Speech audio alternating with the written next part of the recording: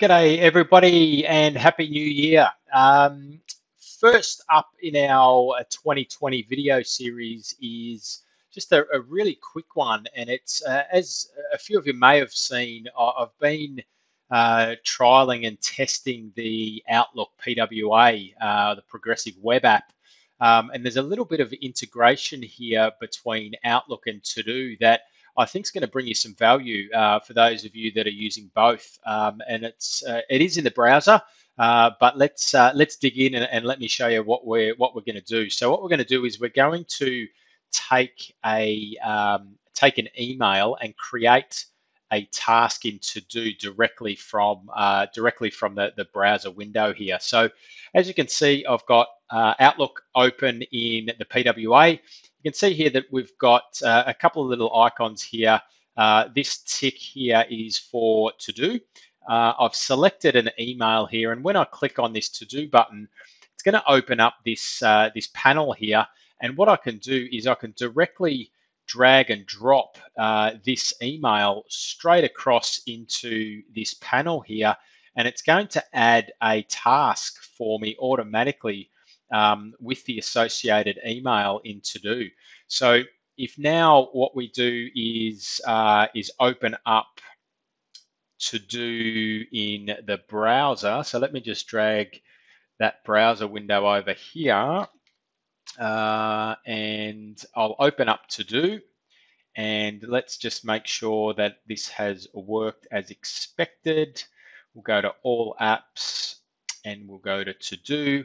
What we should have in the task panel or the task list here is that email as a task.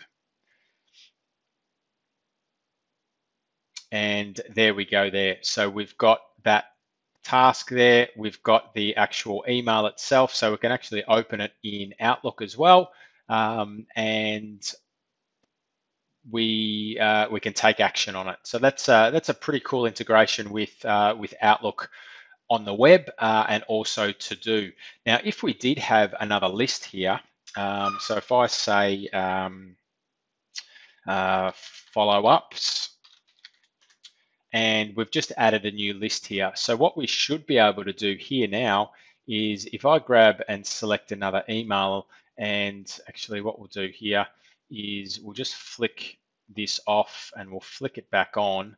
What we should be able to do also here is, is now select the list. So if I want to now change the list to follow up, I can then drag that and drag that across to there, and that's going to add it to that follow-ups list that I just created. So if I jump into to follow-ups, we should see shortly that that task appear um, in that that particular list there.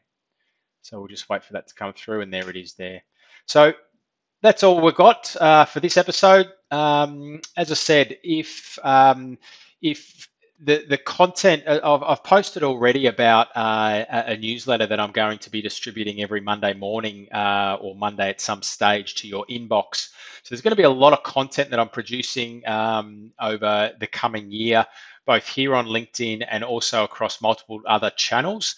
Uh, so if you want to stay up to date and stay connected uh, with the content that I'm publishing, hopefully it's it's bringing you some value. Um, then please subscribe to that. I'll put the link in the uh, in the post itself uh, and jump on and subscribe. Uh, but I'll see you in the next episode. Thanks, guys. See ya.